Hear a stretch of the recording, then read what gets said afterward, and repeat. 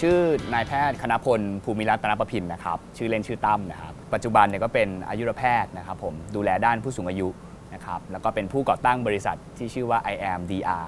นะครับซึ่งก็เป็นบริษัทที่นำเทคโนโลยีกับความคิดสร้างสรรค์เนี่ยมาแก้ไขปัญหาในวงการสาธารณสุข หรือวงการแพทย์นะครับผมปัจจุบันนี้บริการที่เราทำอยู่ชื่อว่า Health at Home ซึ่งเป็นบริการที่ช่วยให้ผู้ป่วยหรือผู้สูงอายุเนี่ยสามารถที่จะพักฟื้นอยู่ที่บ้านของตัวเองได้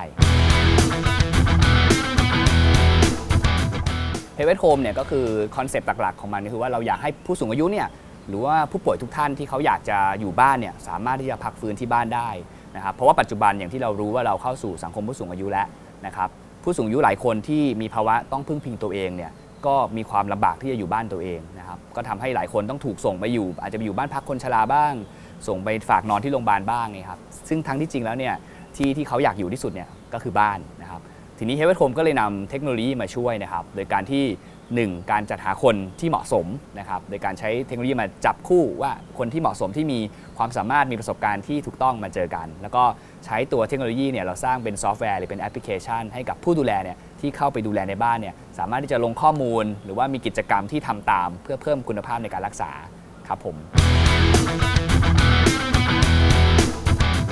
รงบันดาลใจก็คือว่าตลอดมาครับชอบเรื่องเทคโนโลยีอยู่แล้ว รู้สึกว่ามันเป็นสิ่งที่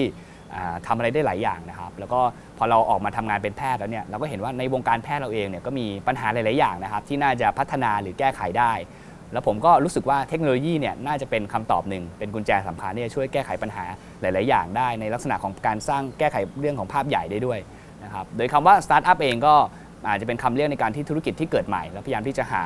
แนวทางที่ชัดเจนก่อนจะกลายเป็นธุรกิจจริง ๆ นะครับผม ก็เลยคิดว่าถ้าเราออกมาทำตรงนี้นำเทคโนโลยีมาใช้กับความรู้ทางการแพทย์ที่เรามีเนี่ยมันน่าจะสร้างอะไรบางอย่างขึ้นได้ในวงการแพทย์เนี่ยครับผมว่าอย่างแรกก็ต้องคิดดีๆว่าเราอยากจะลองเดินในทางนี้หรือเปล่าครับเพราะมันก็เป็นเส้นทาง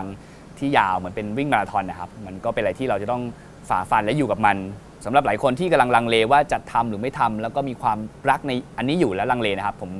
ก็คิดว่าต้องลองทำดูนะครับเพราะว่าถ้าไม่ทำเนี่ยก็ไม่รู้ว่ามันจะเป็นยังไง